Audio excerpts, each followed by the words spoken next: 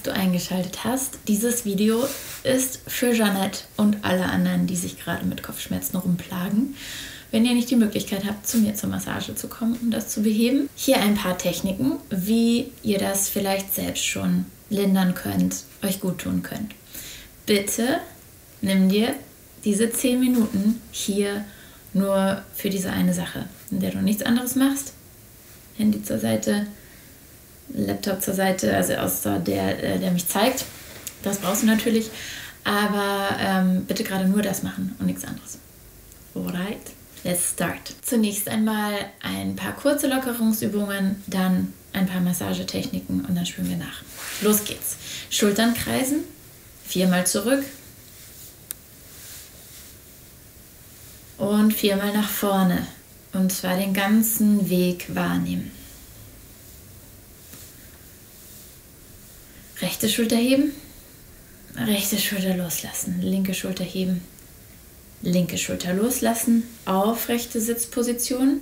Das heißt, das Becken ist geerdet, die Füße sind geerdet und vom Becken aus aufrecht wächst die Wirbelsäule nach oben. Atme hier ein. Ausatmen, schau nach links. Einatmen, zurück zur Mitte. Ausatmen, schau nach rechts. Nochmal jede Seite ein. Und aus. Ein. Und aus. Zurück zur Mitte kommen, atme ein. Nochmal die Schultern ganz entspannt lösen, locker lassen. Und dann nimmst du den Kopf und das Kinn einmal richtig weit nach vorne, schiebst das Kinn vor. Wenn du merkst, es verschlimmert deine Kopfschmerzen, dann natürlich nicht in den Schmerz reingehen. Aber sanfte Mobilisation nach vorne schieben und wieder zurückschieben. Kinn ganz weit zurückziehen, Doppelkinn machen. Vorne und zurück.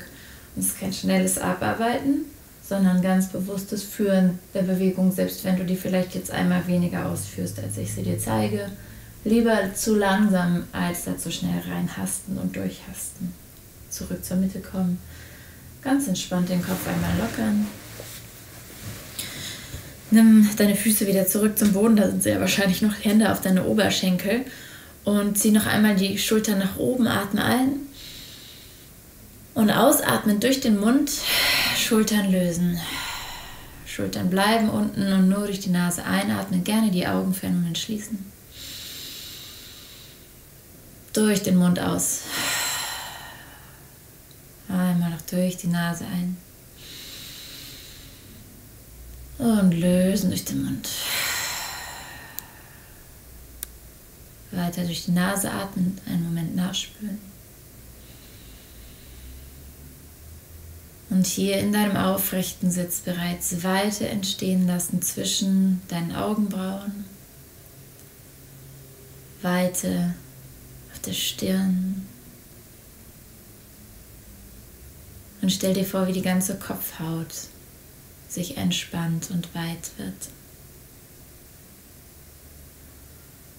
Und dann kannst du die Augen gerne geschlossen lassen und ich leite dich durch die Bewegung, wie es dir angenehmer ist. Und nimm zunächst deine Hände einmal aufeinander, reib sie aneinander und leg sie dann wie Tassen, sagt man im Englischen, wie Cups auf deine Augen, dass du nicht auf die Augen drückst, sondern einen Moment mal die Augen abdunkelst und in diese angenehme Dunkelheit eintauchst. Die Augenmuskulatur kann vollständig entspannen.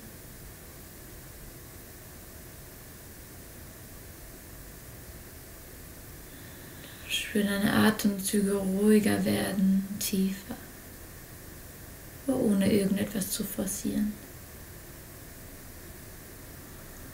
Bringe die Fingerspitzen von hier aus auf die Stirnmitte, dass die Fingernägel sich sozusagen treffen, die Hände aufgestellt sind. Und drücke mit sanftem Druck auf die Stirn und zieh ganz langsam sanft die Finger nach außen mit sanftem Druck, als würdest du so zehn Linien auf deiner Stirn malen. Lass dir bei diesem Streichen ganz viel Zeit, um wahrzunehmen und loszulassen. Außen angekommen, fahre noch einmal deine Stirn ab, diesmal mit Zeige- und Mittelfingerkuppe auf die Augenbrauen und gib dir zunächst so einen kleinen rotierenden Kreis am Anfang, Ansatz deiner Augenbrauen. Und von dort aus, vielleicht merkst du auch, da ist so eine kleine Kuhle. Wenn dir das gut tut, da reinzudrücken, dann bleibt da noch eine Weile länger. Aber auch nur so stark, wie es dir jetzt gerade angenehm ist, wie es gut tut. Geh nicht zu weit. Und dann zieh die Fingerkuppen über die Augenbrauen nach außen. Das sind alles so Abfahrmomente, in denen du ähm, spüren kannst, ob das da irgendwo einen Punkt gibt, an dem es ganz besonders angenehm ist, noch ein bisschen länger zu bleiben oder nochmal wiederzukehren zu diesem Punkt, zurückzukehren. Wenn du außen angekommen bist, leg Fingerkuppen auf deine Schläfen und kreise ganz sanft auf deinen Schläfen beginne. Mit kleinen Kreisen lass sie größer werden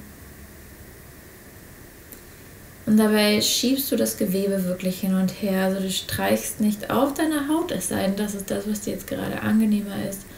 Aber teste gerne mal aus, wenn du dich sozusagen in das Gewebe reingräbst und dann die ganze Haut und den Muskel darunter sanft verschiebst. Eine Richtung.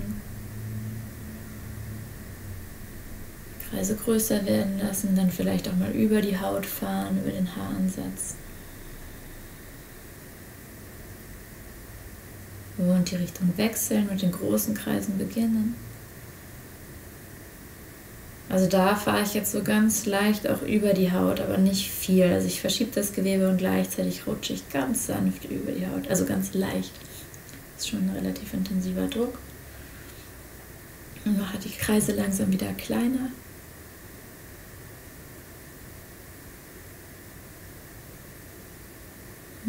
Und komme zur Mitte der Schläfe.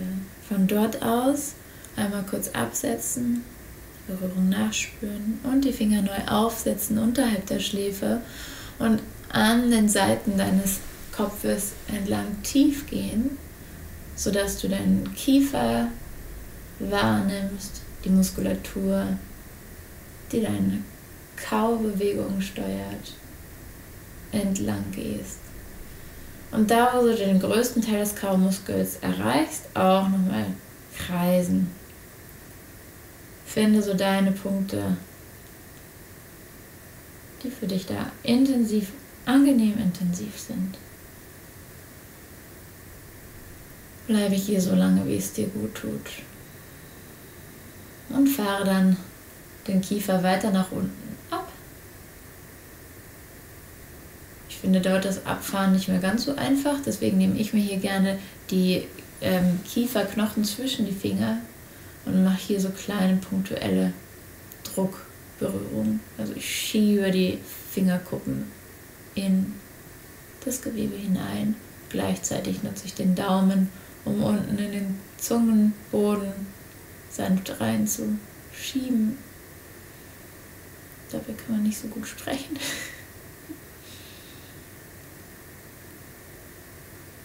Sehr schön. Einmal noch vom Haaransatz oben nach unten ausstreichen. Na gut, dreimal macht man in der Regel. Machen wir das heute auch. Und alle Spannung mit rausnehmen bei der Gelegenheit. Abgeben. Sehr gut. Dann, wenn du deine Haare zusammengebunden hast, finde ich es einfacher, sie zu öffnen, um hier in so kleine Druckpunktmassage zu kommen. Mit deinen Fingerkuppen Druck auszuüben auf die Kopfhaut. Gerne beginnt bei der Stirn und dann wanderst du einfach deine ganze Kopfhaut ab. Drückst rein und löst wieder, drückst rein und löst wieder.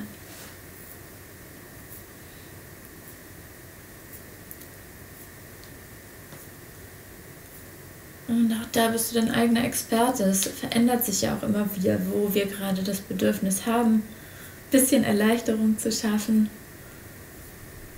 da bleibst du halt ein bisschen länger, aber geht trotzdem die ganze Fläche ab.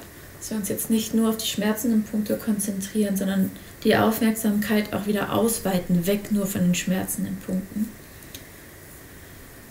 Dann kannst du so zwei, dreimal shampoonieren durch die Haare gehen, so wie du dir auch Shampoo in die Haare bringen würdest. Und dann kommen wir zum Hinterkopf. Ich mache meine Haare mal kurz hoch. Obwohl es trotzdem mit offenen Haaren einfach ist. Also lass deine gerne offen, aber dann siehst du, wo ich hier hingehe. Zu einem einen einmal deine Finger hier auf diesen Muskel, der hier hochführt, legen und schieb sie nach oben hoch. Nochmal hoch. Noch dreimal.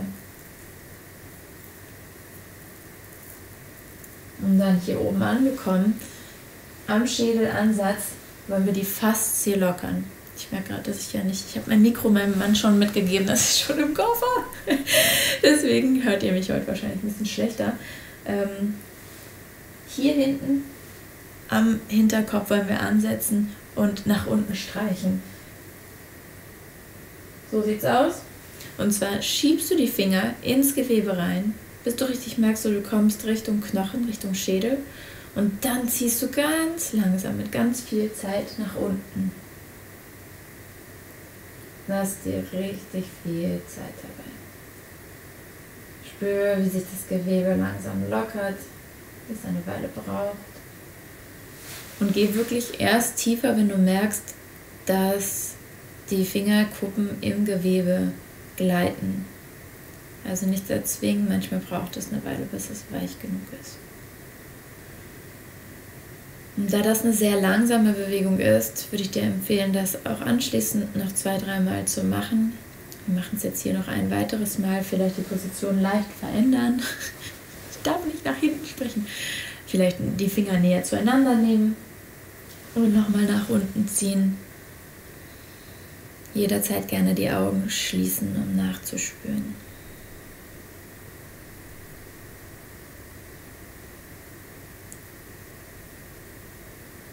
Wenn du das nächste Mal abgeschlossen hast, greife mit deinen Händen den Muskel, der hier oben auf der Schulter aufliegt, auf dem Nacken aufliegt, das einerseits das Schulterblatt verbindet und dieser Kapuzenmuskel, der hier oben lang geht, auch. Also alles, was du da an Muskelmasse greifen kannst, reingreifen, richtig mal reinkneten, reindrücken, einen Moment halten und sanft nach vorne ziehen, lösen. Zweimal Muskel greifen, nach oben ziehen und nach vorne ziehen, zu lösen. Einmal noch richtig Feuer reingeben und lösen. Und knete dir deine gegenüberliegende Schulter einmal durch und wechsel dann die Seite. Oh, ich merke gerade, es ist so schön aus den Armen abzugehen. Nimm den ganzen Arm noch mit, den Unterarm, wenn du viel am Schreibtisch warst, so den Mausarm gegenüberliegende Seite Schulter kneten, Oberarm kneten, Arm und einmal die Hände. Sehr, sehr, sehr gut bei Kopfschmerzen wirkt auch dieser Punkt. Den können wir auch gerade nochmal mitnehmen. Einmal oben auf der Hand und von unten gegendrücken. Kleine Massage, du wirst auch merken automatisch, meistens, wenn du Kopfschmerzen hast, dass der auch viel empfindlicher ist. Auch auf der anderen Seite.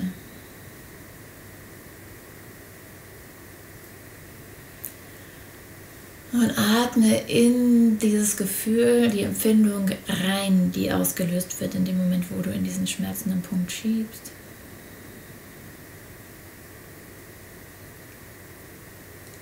Und lösen. Beide Arme einmal über die Seiten lang nach oben bringen. Streck dich lang. Ausatmen, Hände vor dein Herz. Machen wir noch zweimal. Einatmen, richtig weit, Brustkorb öffnen lang nach oben. Ausatmen, Hände vors Herz. Letztes Mal ein. Ausatmend, Hände vor dein Herz, gerne übers dritte Auge tief bringen. Augen schließen, die Hände auf deinen Oberschenkeln ablegen, den Sitz wieder aufrecht ausrichten, deine Wirbelsäule lang, Nacken entspannt, Kiefer gelöst. Meine Kopfkrone wird wie an einem seidenen Faden nach oben Richtung Himmel gezogen. Ganz mühelos. Und dann stell dir vor, wie deine Stirn sich noch mal mehr weitet und sich je nach Empfinden ein heilendes Licht oder angenehm friedvolle, heilende Dunkelheit über deine Stirn und deinen Augen ausbreitet, wie so ein Mantel darüber legt. Alles, was geheilt werden will, heilt, Ruhe schenkt.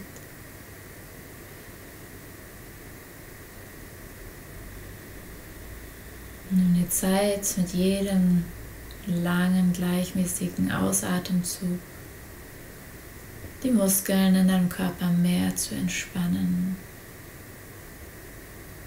Alles an Anspannung, was du für diesen Moment nicht brauchst, loszulassen. So dass auch die Augäpfel in die Aughöhlen reinsinken können. Ganz entspannt.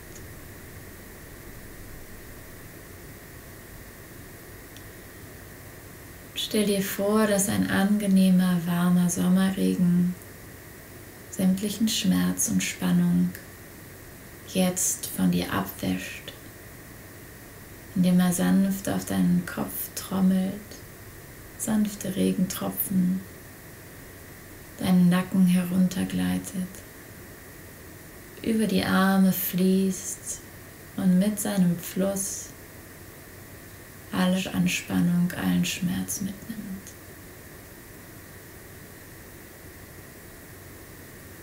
So dass die Spannung in den Boden abfließen kann, dein Körper entspannt und weit zurückbleibt. Und die Erde, das Wasser kompostiert, in Wertstoffe umwandelt.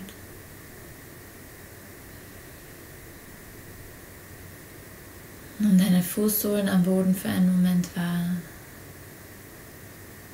So dass wenn der Regen von dir abgewaschen ist, dein Körper völlig gelöst, dein Geist ruhig und entspannt zurückbleiben.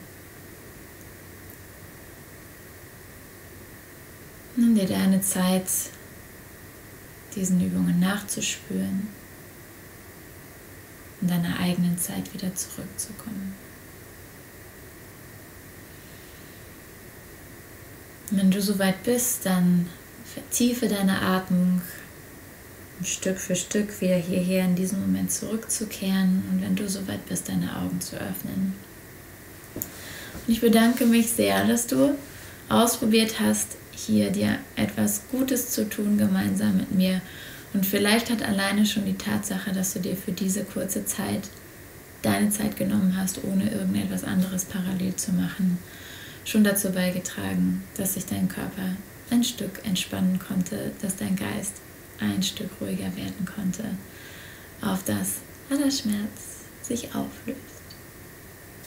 Hab einen wunderschönen Tag. Namaste.